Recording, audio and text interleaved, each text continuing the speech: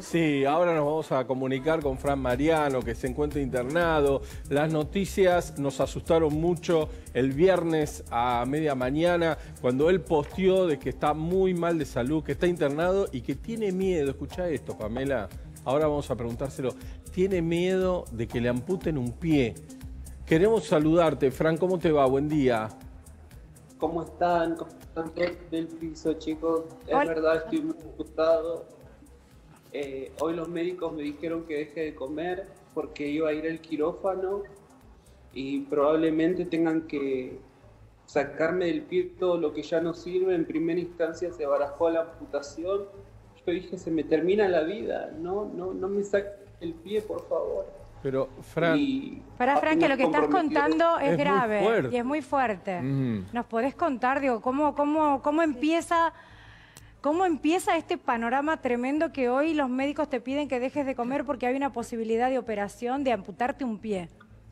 Pero ¿cómo empieza esto? Digo, yo estoy sorprendida. ¿Cómo? mi salud nunca más fue la de antes, después de hacerme tantas cirugías. Yo había bajado 92 kilos, había regularizado mi organismo y bueno, mi cuerpo basta Hoy en día tengo una salud de un nene de cuatro años eh, y comenzó con un golpe que se hizo una pequeña ampolla que en otras circunstancias de la vida hubiese, hubiese sanado y en este caso se me infectó, se hizo una úlcera por donde ingresó un virus y el virus ese me comió todo el pie. Yo estuve 10 días, para me escucha bien, 10 días tirado en mi casa sin comer, sin tomar agua y me encontró la vecina, gracias a Dios, porque mi perro lloraba y la vecina llamó a la ambulancia y me llevaron al hospital. Y estoy internado, ahora me trasladaron al sanatorio modelo de caseros y bueno, haciendo todo para ver qué, pasa. Lo único que quiero es ponerme bien. Fran, ¿y los médicos lo único que te dicen que comunica solución es eso? Es amputarte, no hay, no hay forma de limpiar la zona y ver qué pasa más adelante que tienen que salir a, cortar el pie?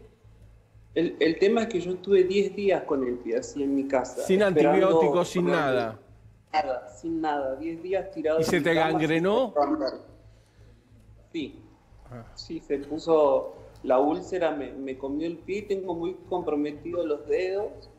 Eh, pero bueno, sí, en primera instancia los médicos me plantearon la amputación, yo me esperé y ahora están viendo de hacerme una limpieza quirúrgica y sacarme del piel lo mayor posible de toda esa parte que está fea.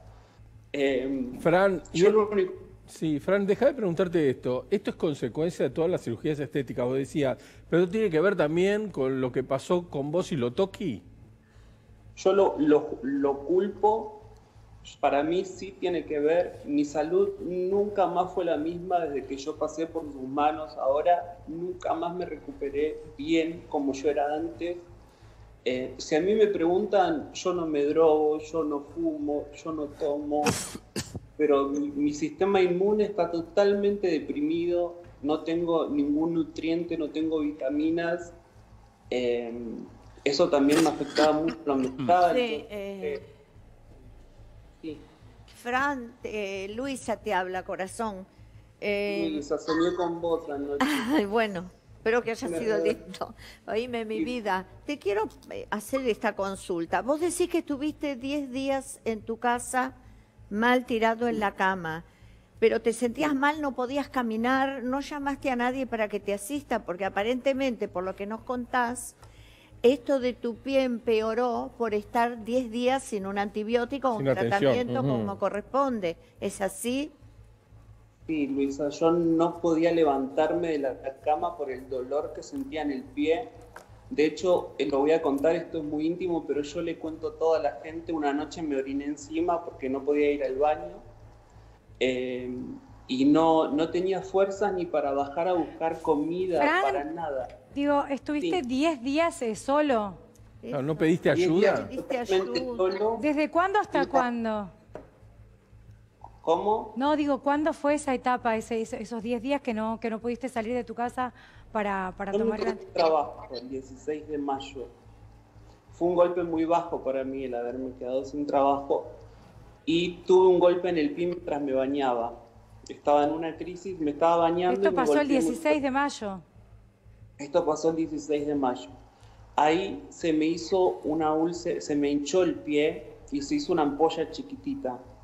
Y eso, bueno, entró algún virus que había en mi casa o algo, una bacteria, y se me formó una úlcera producto del traumatismo que yo tuve. Mm.